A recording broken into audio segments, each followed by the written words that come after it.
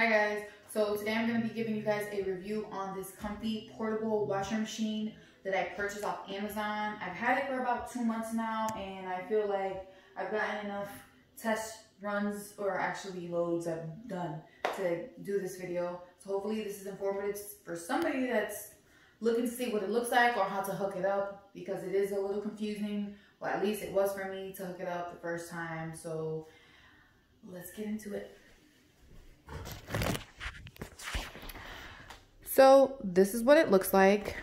It is digitalized and it has all these features um, from load size. You can select, um, let me turn it on for you guys so you guys can see. You can select the size, the water temperature.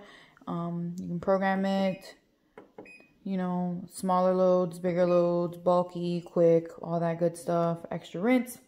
And this is the on and off or the pause and go button. This is the on and off button. So that's what it looks like.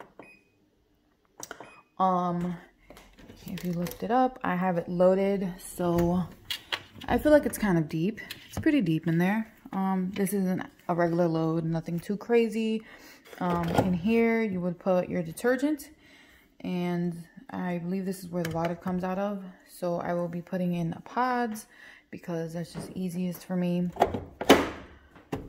and that's what it looks like now when you buy it well when i purchased it i purchased it specifically because it had wheels or has wheels that white right there yeah that's the wheel and i really didn't like it i thought it was like the tire the wheels were like way way too small so when you go ahead and try to roll this you have to tilt it so much even though it has handles that is just so inconvenient i don't really care for the wheels. So I ended up buying a dolly off of Amazon. And that works way, way better. And it comes with hoses. And then this is where your cold water would go in and your hot water. Let's see if this thing wants to stop moving around. And it also comes with attachment pieces, which it comes with this. You attach it to the end. And it comes with the faucet attachment piece also. And all you have to do after you have them all attached, you pull this um, spring down and you just press it up so it clicks like so and release. And that's it. And then you have your drainage where your dirty water comes out of. And that's it. And it's pretty simple to use. So I will demonstrate on how to use this. I will select my load size, which is already there wash and rinse, wash, rinse, and spin. Let me see. There, large load. I will leave it on warm. And it is kind of bulky, so I guess I will leave that there. And that's it. And you set this to go. And you turn on your water.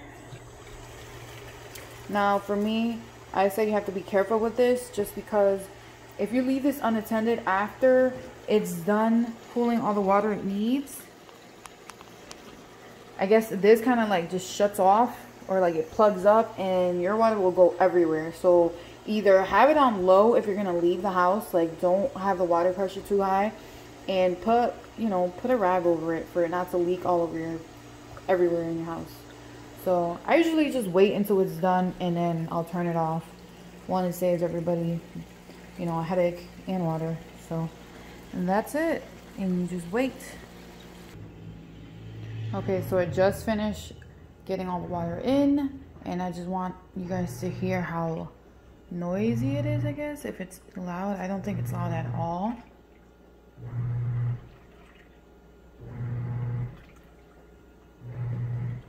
And I haven't gotten any complaints from my neighbors, so I think is a five star for me. There you have it and very good storage right off the kitchen for me is I have this tiny closet and believe it or not the washer fits between there. But if it wasn't because of the dolly it would be very difficult to get it in there. So yeah I say go for it. If you guys want to try it out there's the model. And for under 300 bucks I think you can't beat that. For the convenience definitely worth it